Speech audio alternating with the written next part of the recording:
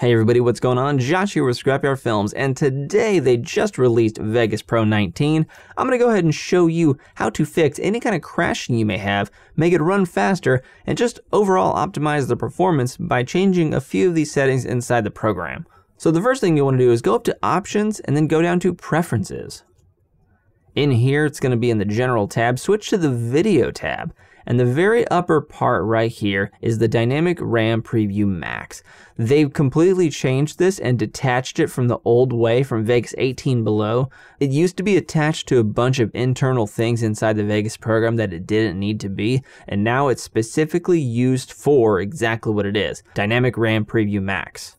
They've also took away the ability to set a custom number and gave you a slider that goes from 0% all the way to a maximum of 75% to avoid using all of your RAM and just shutting down or crashing your system or just making it run terribly. I recommend putting this Dynamic RAM Preview Max to either 50% or 75%, depending on how much RAM you have available. On my laptop, I only have 32 gigs available, but on my desktop, I have 64. So either way, 25% remainder of that RAM is still enough to run Windows and other applications. So I'm going to set it to 75%. So go down to the bottom right and hit apply, and then you're going to get a preference change prompt explaining what happens when you allocate RAM to Vegas. Just go ahead and hit OK.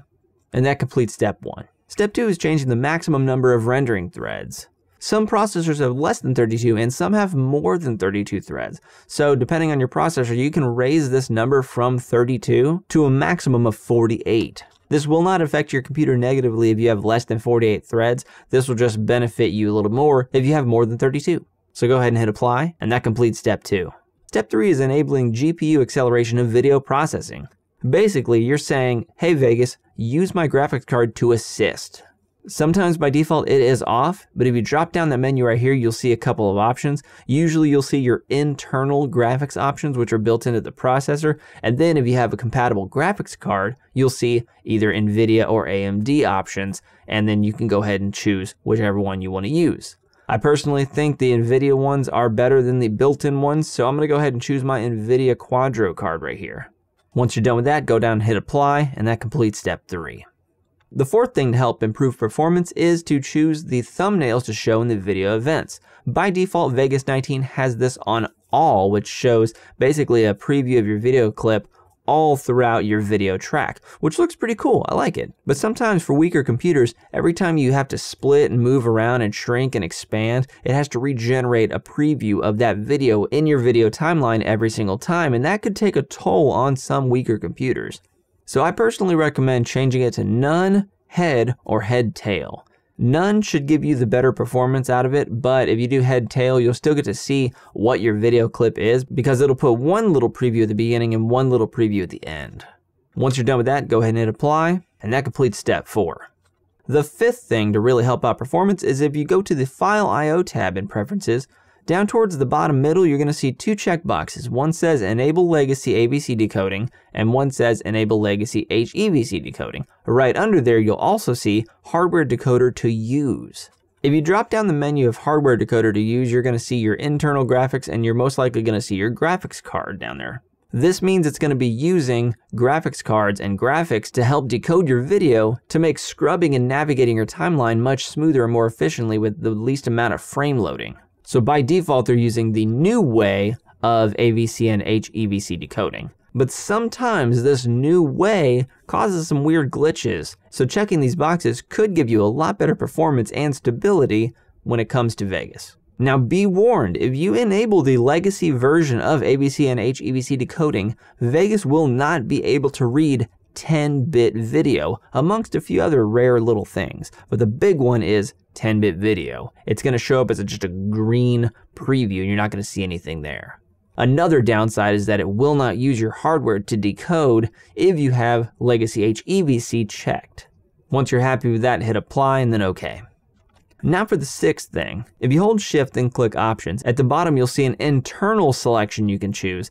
Select internal and that's going to load up the internal preferences of Vegas. Inside the search at the bottom, go ahead and type OpenCL forward slash GL, and that's going to filter it out to your OpenCL GL interop. By default, this value is true, and what you want to do is change it to false. This is a very old way of them using the OpenCL GL version of your graphics card to help make things work better in Vegas, but by disabling it, there are actually no downsides to this and it actually does help out rendering and weird glitches inside Vegas. Hit apply and you're good to go.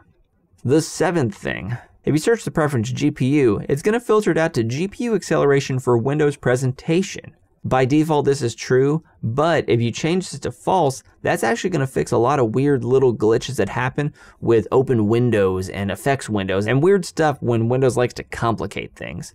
So by setting it to false, you can reduce the amount of time you get weird little glitches in these windows. Hit apply, and then you're done with that one.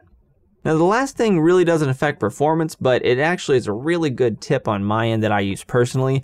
And if you type in show UNQ for the beginning of unquantized, you're going to see two options appear, show unquantized event start and event end. Now by default these are on false, but if you turn these to true at either the beginning or the end of your clip, if it has any kind of frame rate mismatches, you'll be able to know because it'll turn it into a red line at the either beginning or the end of your clip so you can fix before you end up rendering. Because sometimes if you have mismatched frame rates, then you'll get weird little black missing frames when you render and you won't know why. So by enabling these to true, this allows you to quickly and easily spot mismatched frame rate videos. That's going to wrap it up for this tutorial. If it helped you out, be sure to shoot a like and subscribe down there. That'll really help me out. I'll see you guys in the next video. And I want to give a special shout out to all my legendary scrappers at the top, LMC and Hardy Cash. You can find links to their channels and social media in the description below. And thanks to all my super scrappers there in the middle and my awesome scrappers at the bottom.